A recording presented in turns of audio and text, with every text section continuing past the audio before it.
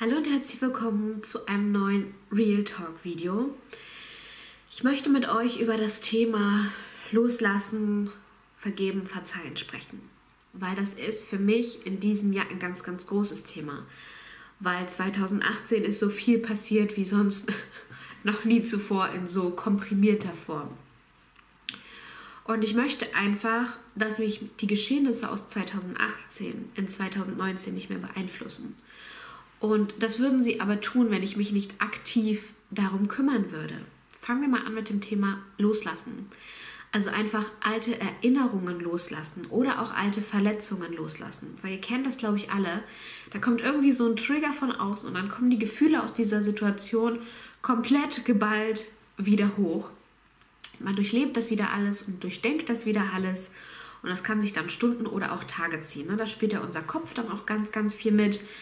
Ähm, oder auch so Streitgespräche, wenn wir einen Streit hatten, dass wir dieses Streitgespräch immer wieder durchspielen oder dass wir in unserem Kopf formulieren, was wir anstelle dessen eigentlich gerne gesagt hätten. Das kennt, glaube ich, jeder von uns.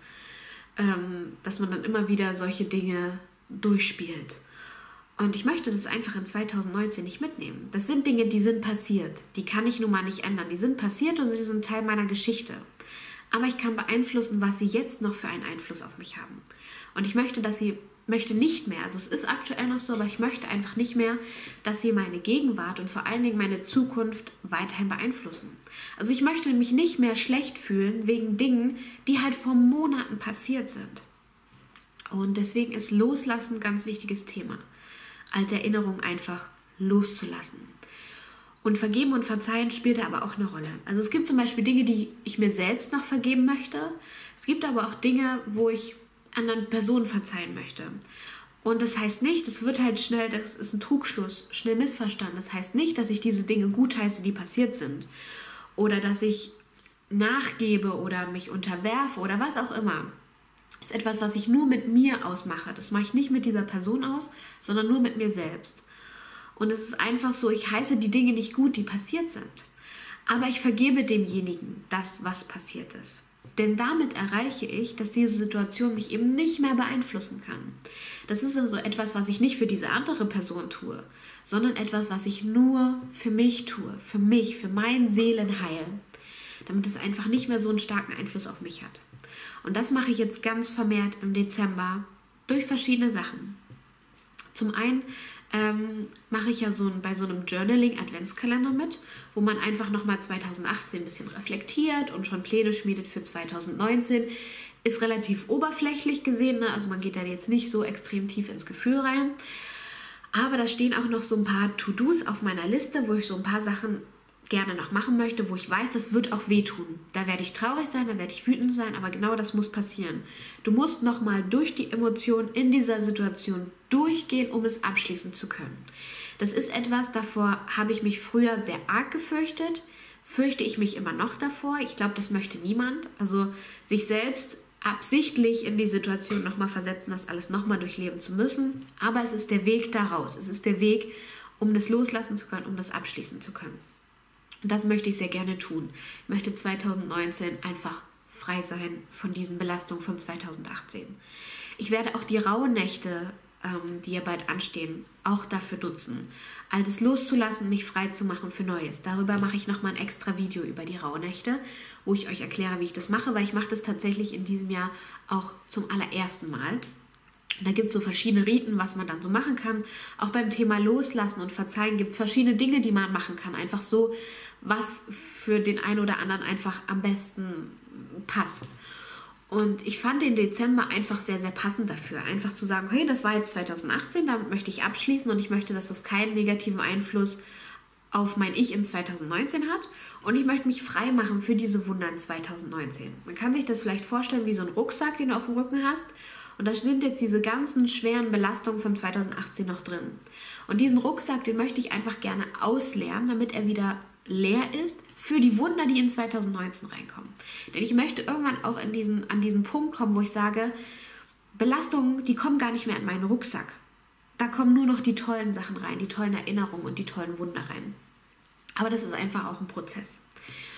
Und weil das für mich gerade so ein wichtiges Thema ist und weil ich den Dezember so sehr passend dafür finde, habe ich auch die farbenfrohe Mama-Auszeit im Dezember unter dieses Thema gesetzt. Altes loslassen, Vergangenes loslassen und sich frei machen für die Wunder in 2019, das neue Willkommen heißen.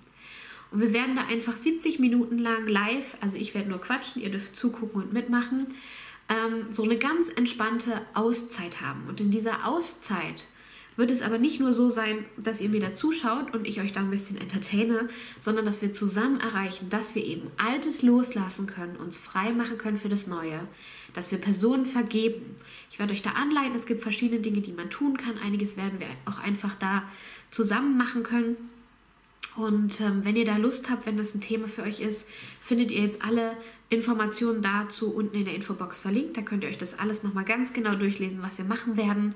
Es wird dann auch so sein, dass ich das Ganze aufzeichnen werde, also die Aufzeichnung im Nachgang noch bekommt, ähm, damit ihr es euch einfach nochmal und nochmal und nochmal angucken könnt. Ihr werdet auch so ein kleines Workbook als PDF bekommen, wo nochmal die Übungen drin stehen, die wir auch da zusammen machen. Weil einiges, es gibt halt Dinge, es gibt vielleicht mehrere Personen, denen ihr vergeben müsst. Oder es gibt verschiedene Rituale, die man dann einfach nochmal gerne wiederholen möchte oder die man vielleicht alleine in Ruhe für sich machen möchte.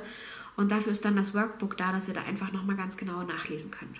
Aber wie gesagt, wenn euch das Thema interessiert, dann schaut gerne in die Infobox. Aber was ich mit diesem Video wirklich erreichen möchte, ist, dass ihr selbst für euch schaut. Gibt es Dinge, die ich loslassen möchte, die ich in 2018 lassen möchte? Und gibt es da noch Menschen, denen ich vergeben möchte? Muss ich vielleicht mir selbst noch irgendwas vergeben? Und wenn dem so ist, dann das auch wirklich anzugehen, es nicht auf die lange Bank zu schieben, sich nicht davor zu drücken. Ich habe mich jahrelang vor solchen Dingen gedrückt. Und das wird dann immer mehr und immer mehr und immer mehr. Und irgendwann muss man sich darum kümmern, wenn man nicht möchte, dass es das Leben weiterhin so negativ beeinflusst. Und es ist hart und das ist scheiße und man muss da aber nochmal durch, ansonsten geht es einfach nicht. Man muss durch den Schmerz, durch die Gefühle, durch die Erinnerung nochmal durch, um da rauszukommen. Einen anderen Weg gibt es einfach nicht der Verarbeitung, des Loslassens, des Vergebens. Und ich hoffe, dass ihr euch damit auseinandersetzt. Ich hoffe, dass ihr darüber nachdenkt, gibt es etwas, was ich loslassen möchte? Gibt es einen Menschen, dem ich vergeben möchte? Und wenn dem so ist, das auch wirklich anzugehen. Die Kraft zu haben, den Mut zu haben, das nochmal anzupacken. Dabei wünsche ich euch ganz viel Spaß, ganz viel Freude, ganz viel Erfolg. Ähm, ich schicke euch auch ganz viel Kraft dafür und würde mich jetzt sehr freuen, wenn ihr mir in den Kommentaren schreibt, gibt es Dinge, die ihr loslassen möchtet? Gibt es Personen, denen ihr noch verzeihen müsst? Und wir sehen uns dann hoffentlich bei meiner farbenfrohen Mama-Auszeit, genau zu diesem Thema. Und ansonsten sehen wir uns dann hier bei meinem nächsten Video. Bis dahin, tschüss!